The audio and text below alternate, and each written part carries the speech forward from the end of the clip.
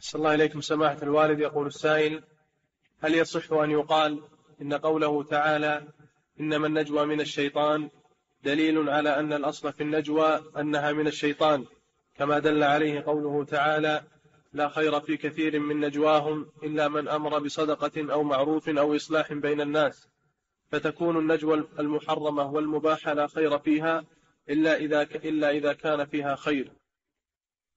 الكلام في النجوى المذكورة في الآيات التي هي نجوى المنافقين والكفار.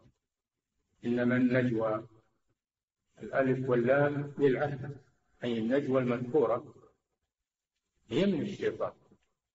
أما النجوى في الخير فهذه من الله سبحانه وتعالى ليست من الشيطان.